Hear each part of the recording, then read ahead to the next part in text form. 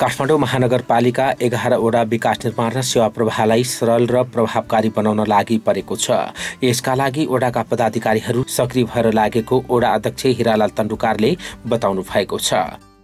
वडा कार्यालयमा अहिले महानगरपालिकाले जे प्रावधान गरेको छ त्यो अनुसारले काम गरेको छु वडाको विकासको लागि चाहिँ हाम्रो टोलवासीले हाम्रो चाहिँ एघारवटाको जनताले जे भन्छ त्यही काम गर्न हामी लागि परिरहेका छौँ। अहिले गरिरहेका पनि छौँ भइरहेको पनि छ। काममा चाहिँ नि अहिले हाम्रो चाहिँ कुनै अवरोध छैन। काम गर्नलाई पनि अहिले चाहिँ हामीलाई चाहिँ कुनै गाह्रो परिरहेको छैन। किनकि पहिलाको पनि अनुभव भएको नाताले काम गर्नलाई चाहिँ अहिले चाहिँ हामीलाई सजिलो छ। काठमाडौँ महानगरपालिका एघार नम्बर ओडाका अध्यक्ष हिरालाल तन्डुकारले यसअघि पनि साबिकको स्थानीय निकायमा काठमाडौँ महानगरपालिकामा ओडा अध्यक्षका रूपमा निर्वाचित भई जनप्रतिनिधिको रूपमा कार्य गर्नुभएको थियो। साबिकको स्थानीय निकाय र सङ्घीय संरचनापछिको हालको स्थानीय तहमा काठमाडौँ महानगरपालिकामा रहेर जनप्रतिनिधिको कार्य गर्दा के कस्तो फरक पाउनु भएको छ त भनी हामीले काठमाडौँ महानगरपालिका वडा नम्बर एघारका वडा अध्यक्ष हिरालाल तन्डुकारलाई सोधेका छौँ। म आफू वडा अध्यक्ष भएको नाताले चाहिँ नि केही फरक परेन। तर अहिले जुन सङ्घीयता आइसक्यो र सङ्घीयता हिजो नहुँदाखेरिको काम गर्नु चाहिँ नि अहिले चाहिँ नि थोरै बड फरक छ। हिजो म संहिता नहुँदाखेरि बयालिसवटामा मैले चाहिँ सही गर्नुपर्ने थियो। अहिले आएर चाहिँ मैले अडतिसवटा मात्र सही गर्न पाइन्छ। यसले गर्दाखेरि संहिताले मलाई चाहिँ वडा अध्यक्ष स्थानीय सरकार भनिरहेछ। त्यसले फाइदा गरेको बेफाइदा गऱ्यो भने थाहा भएन।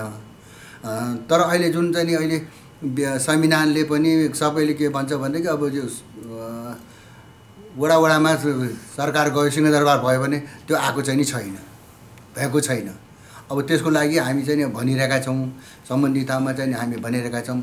यो के भइरहेको छ भने अब यो पहिले संहिता के अरे पहिले पहिले नेपाल सरकारले जे नियम बनाएको त्यसमा हामीले कार्यान्वयन कार्यान्वयन गर्नको लागि हामीले चाहिँ नियावली बनाए पुग्ने अहिले त फेरि यो चाहिँ प्रदेश सरकार आइसकेपछि प्रदेश सरकारले नै नबनाइकन स्थानीय सरकारले बनाउनु नपाउने रहेछ। हामीले बनाए पनि त्यो पा त्यो चाहिँ नि लागु हुन हुन नपाउने रहेछ। अब प्रदेश सरकारले अहिलेसम्म बनाएकै छैन। गर्दाखेरि अहिले काम गर्नलाई चाहिँ नि अलि थोरै गाह्रै छ।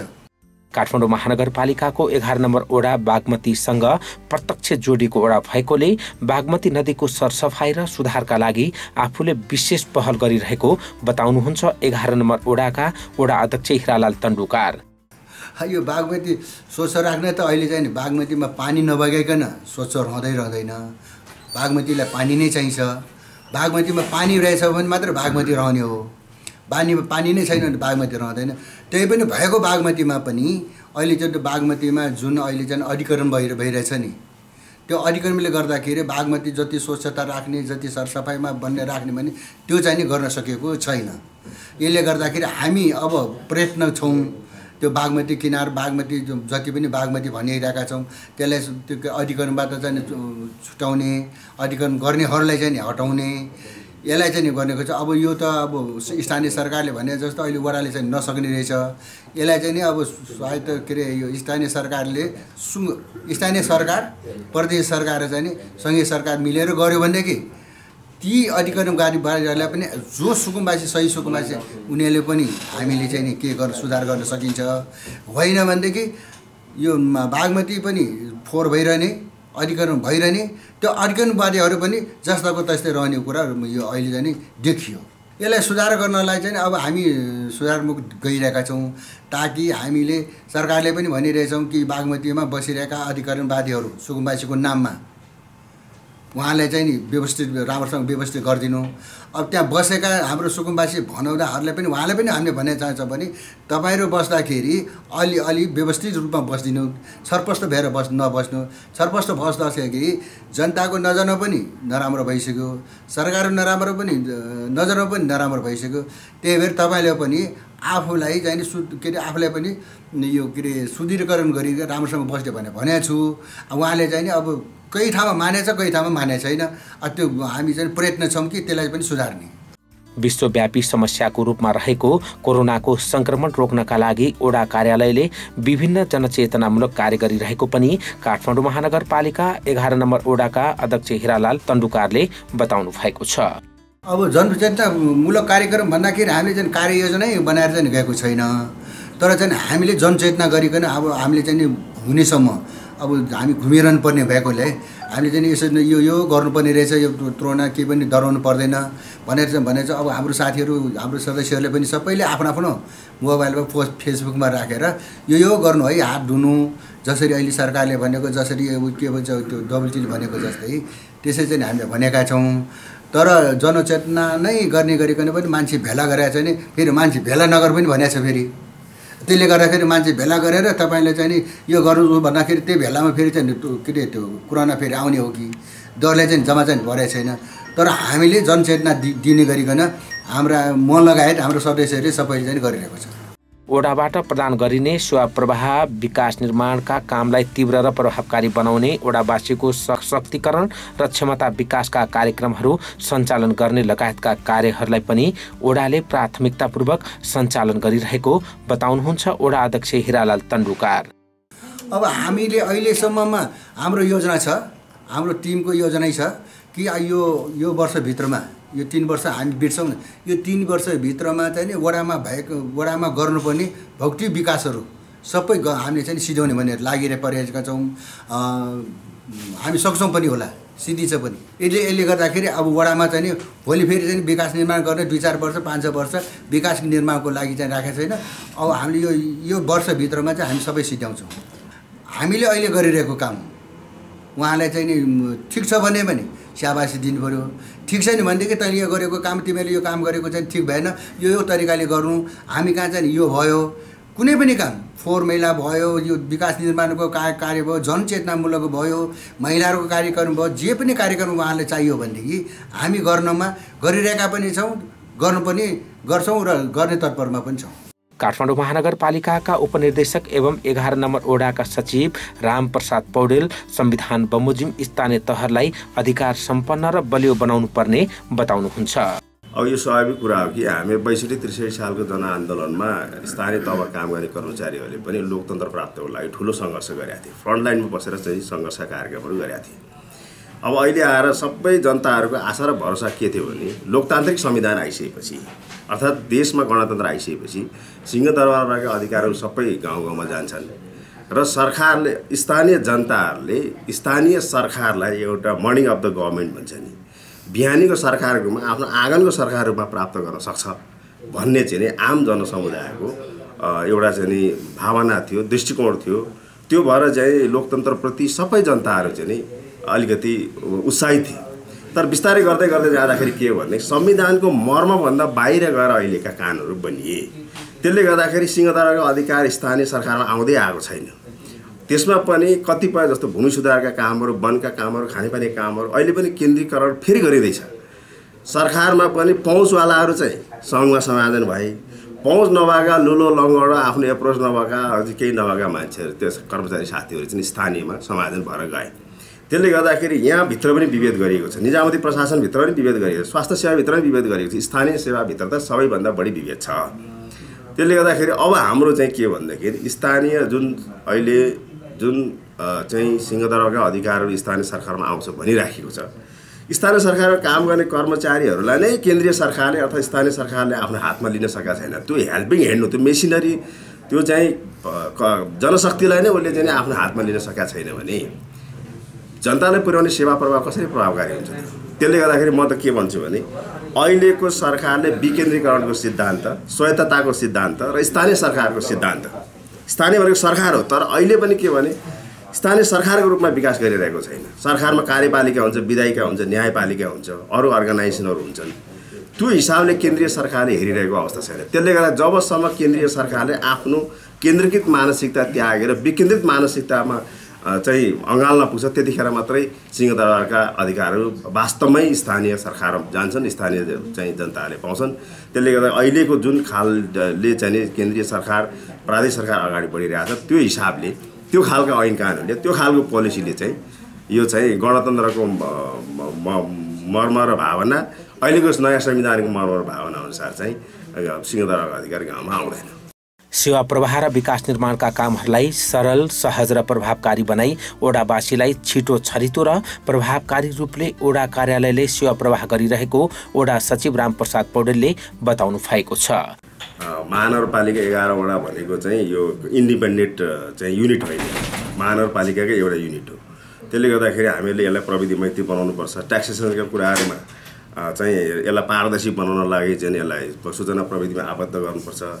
यी विभिन्न कुराहरू चाहिँ नि यी विभिन्न कुराहरू हामीले सुधार गर्न खोजेका छौँ। तर के छ भने एउटा वडाले सुधार गरेर हुँदैन। यो चाहिँ केन्द्रका एकदेखि बत्तिसवटा छन्। एकदेखि बत्तिसवटालाई सेवा प्रवाहदेखि लिएर सबै कुरा सुधार गर्नको लागि केन्द्रीय पोलिसी आवश्यक हुन्छ। केन्द्रीय पोलिसीले मात्रै गाइड गर्ने भएकोले विकास निर्माण कुराहरू हामीले जनताको अपेक्षा अनुसार अहिले अध्यक्षले पनि भन्नु होला तपाईँहरूलाई होइन? जनताको आवश्यकता अनुसार हामी सेवा प्रवाहदेखि लिएर विकास निर्माण कामहरू हाम्रो ढङ्गले हामी अगाडि बढिरहेको छौँ। जनताको सा खासै गुनासो छ जस्तो हामीलाई लाग्दैन। यो एघारवटा यो एउटा चाहिँ नि त्यसले गर्दाखेरि हाम्रो कुरो के हो भने अब सुधार गर्ने कुराहरू भनेको करको कुरामा पारदर्शिता गर्नु पऱ्यो त्यसलाई प्रविधि मैत्री बनाउनु पऱ्यो त्यसलाई आइटी फ्रेन्डली बनाउनु पऱ्यो अहिले त चाहिँ घर घरमा बसेर पनि कर तिर्न सक्ने अवस्था छ सहरमा। यी सबै कुराहरू भनेको त केन्द्रीय पोलिसी निर्देशित गर्ने कुरा हो। हाम्रो चाहिँ यहाँको मेरो अधिकार कार्यक्षेत्र र अधिकारभित्र रहेर गर्नुपर्ने सुधार र सुधारका कामहरू हामीले गरिरहेछौँ स्थानीय तहको समग्र सुधार सुदृढीकरण र व्यवस्थापनका लागि स्थानीय सरकारलाई बलियो र अधिकार सम्पन्न बनाई स्थानीय तहमा कार्यरत कर्मचारीहरूलाई प्रोत्साहन गर्ने गरी ऐन कानुनहरू निर्माण गर्नुपर्ने बताउनुहुन्छ। अहिले अब काठमाडौँ महानगरपालिकामा पनि कुनै राजनीतिक दलको दुई तिहाईको करिब दुई तिहाईको चाहिँ नि नेतृत्व छ। हामी पनि यही कर्मचारी हो। हामीहरूले एउटा निश्चित सीमा र बन्धनमा बसेर मात्रै महानगरपालिकाको विषयमा बोल्न र भन्न पाइन्छ।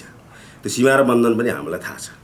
तर हामी के भन्छौँ भन्दाखेरि महानगरपालिकाको समग्र व्यवस्थापकीय सुधारको लागि सेवा प्रवाहमा सुधारको लागि यसलाई एउटा प्रविधि मैत्री बनाउनको लागि एउटा चाहिँ समृद्ध काठमाडौँ सहर देशको एउटा राजधानी सहर र चाहिँ अन्तर्राष्ट्रिय क्षेत्रमा सबभन्दा पहिलो आँखा भनेको राजधानीलाई हेर्ने हुन्छ। त्यस्तो सहरलाई समृद्ध बनाउने कुरामा हरेक हिसाबले एउटा चाहिँ नि राम्रो सहर बनाउनुको हिसाबले हाम्रो तर्फबाट गर्नुपर्ने सबै खालका प्रयत्नहरू हामी योभन्दा अगाडि पनि हामी गरिरहेछौँ अब पनि गर्छौँ। र यी निर्वाचित जनप्रतिनिधिले लिएका जुन भिजन मिसनहरू छन् ती भिजन मिसनहरूलाई कार्यान्वयन गर्ने कुरामा हामी सुदृढ छौँ दृढ छौँ।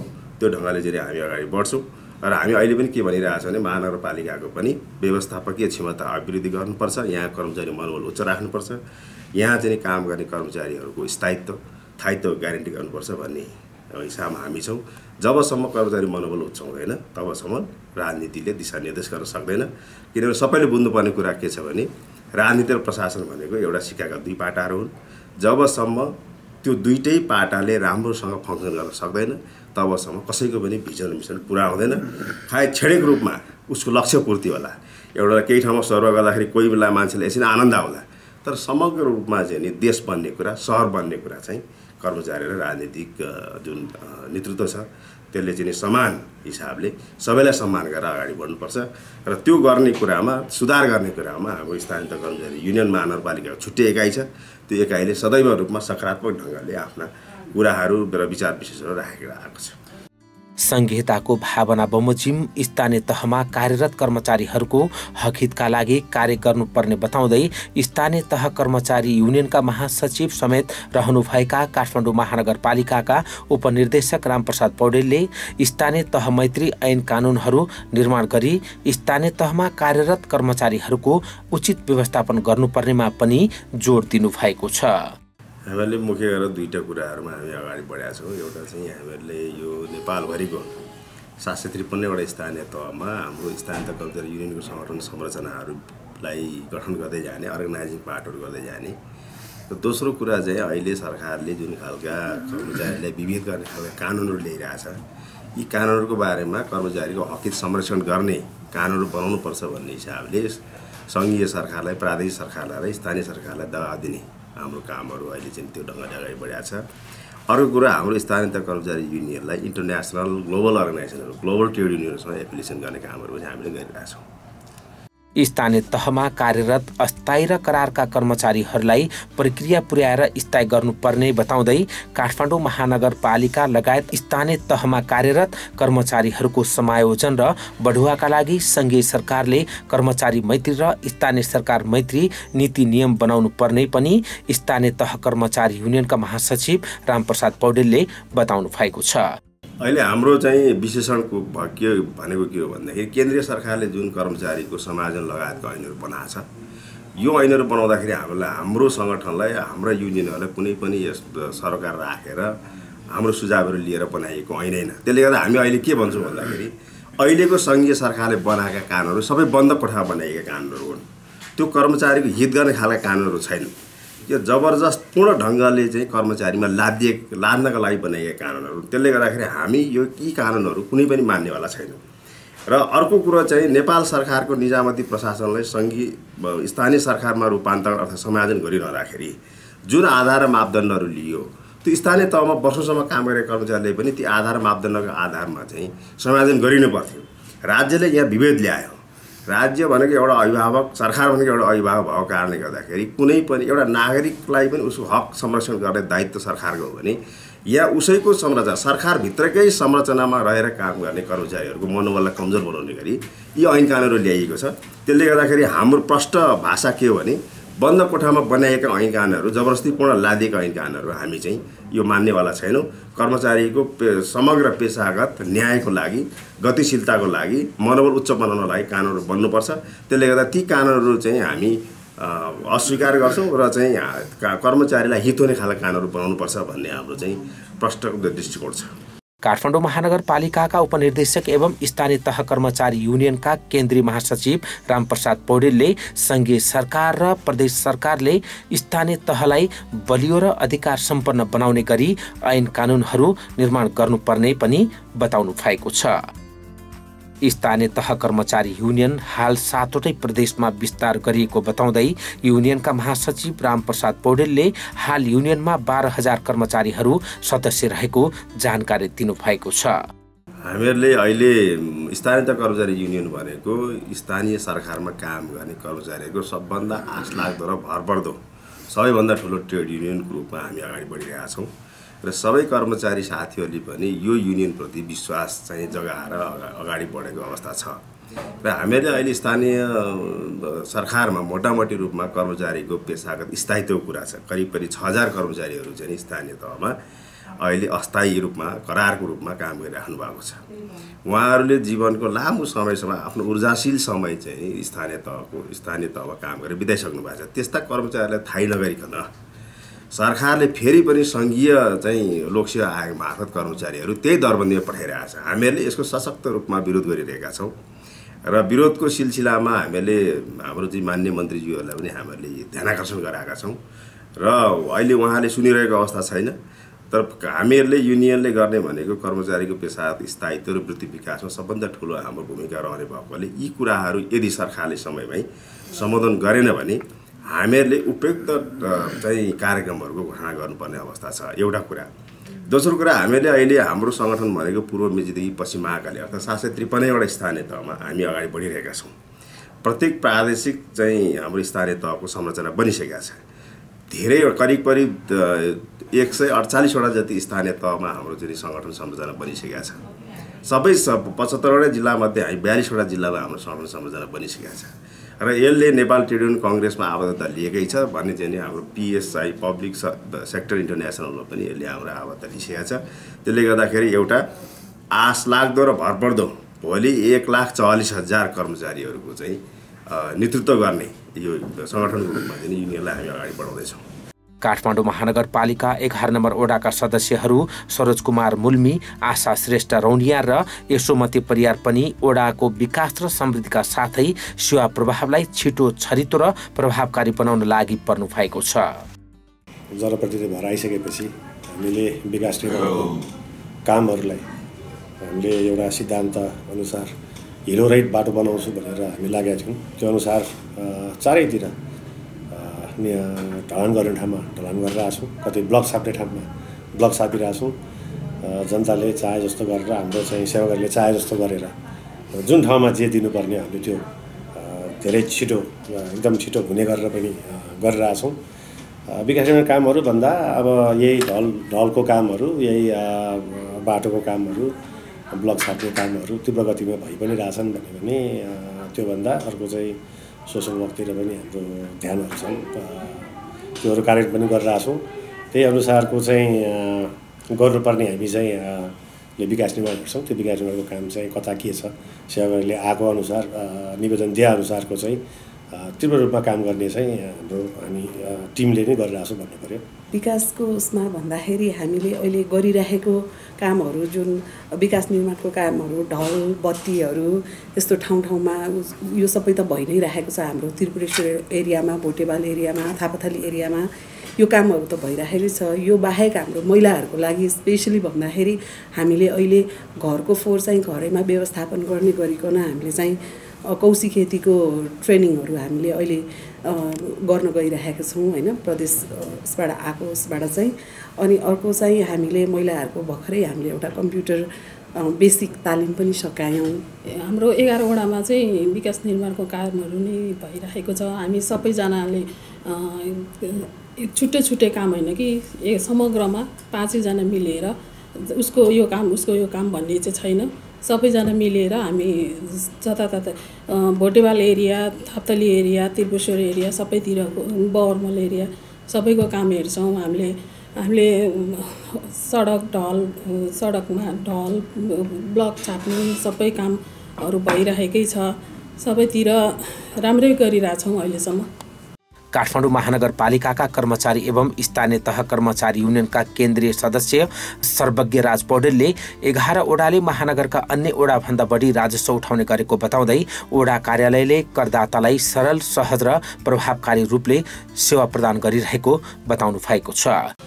काठमाडौँ महानगरपालिकाका बत्तिसवटा मध्ये यो एघार नम्बर वडा राजस्व चाहिँ उठ्ने हिसाबले सबैभन्दा उत्कृष्ट सबैभन्दा अग्रस्थानमा रहेको छ।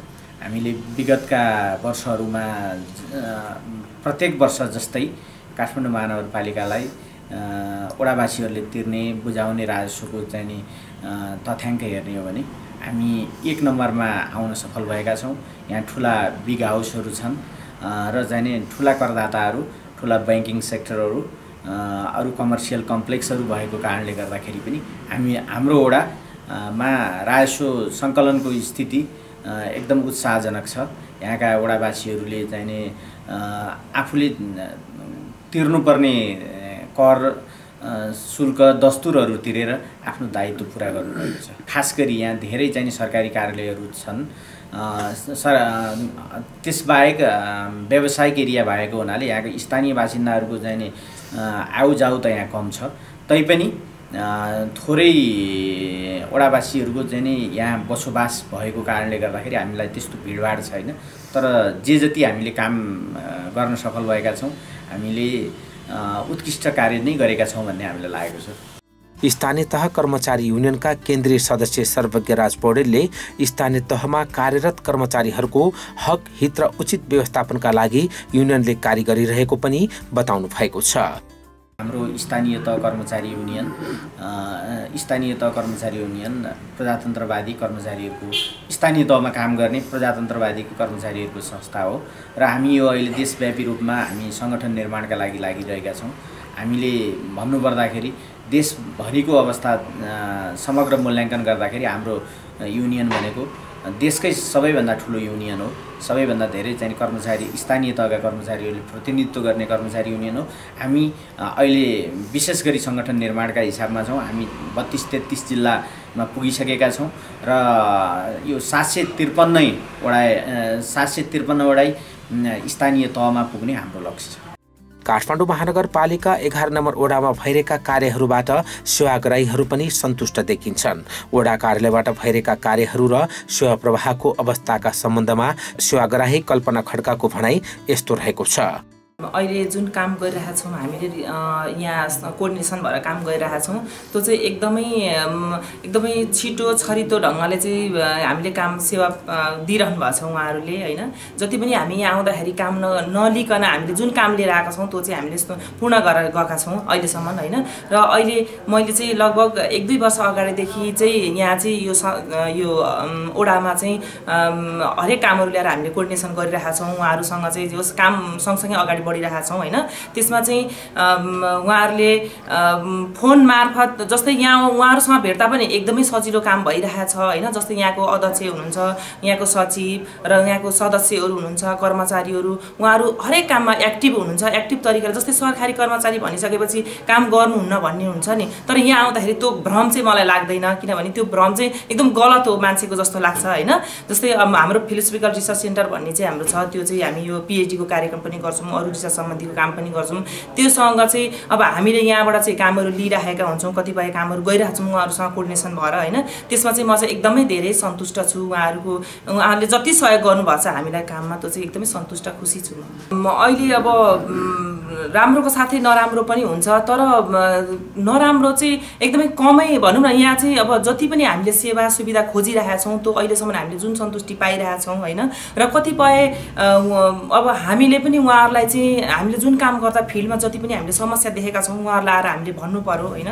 उहाँहरूलाई चाहिँ तपाईँहरू पनि यसरी अगाडि बढ्नुहोस् भनेर हामीले त्यो समस्याहरू उहाँलाई भन्नु भने उहाँको समस्याको समाधान उहाँहरूले गर्नुहुन्छ। त्यतिसम्मको क्षमता एक्टिभ भएर लाग्नु भएको छ। मलाई लाग्छ अब सबै ओडामा राम्रोसँग काम गर्नुभएको होला होइन? तर हामी चाहिँ अलिक नजिक भएर धेरै काम गरेको हुनाले ओडा नम्बर एघार चाहिँ एकदमै नमुना ओडा नै हो जस्तो लाग्छ मलाई चाहिँ। काठमाडौँ महानगरपालिका एघार वडाका पदाधिकारीहरू र कर्मचारीहरूले विकास निर्माण र सेवा प्रवाहलाई सरल र प्रभावकारी बनाई ओडालाई समृद्ध र नमुना ओडा बनाउन आफूहरू लागि परेको बताउनु भएको छ।